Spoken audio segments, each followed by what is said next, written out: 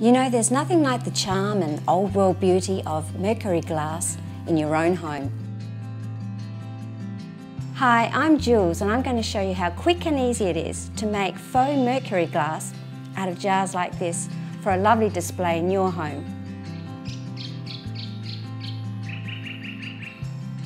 All you need is old unused clean glassware from around the home or even browse through second-hand or thrift shops for old glassware and mason jars. This is such a great way to upcycle old glassware.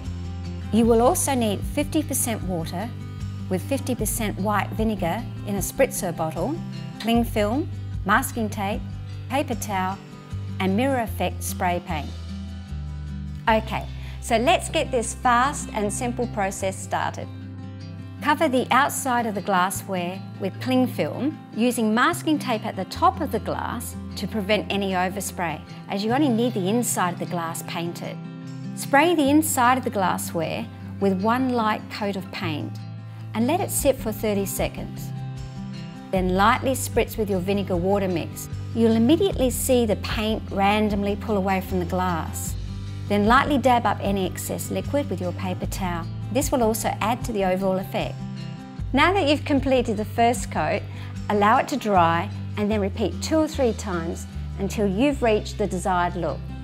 Once dry, remove the masking tape and cling film to reveal the beautiful mercury glass you've just created. I'm so pleased with my results and of course it's such a great way to upcycle old unwanted glassware and bring a charming sparkle to your home. Thanks for watching and I'll see you next time.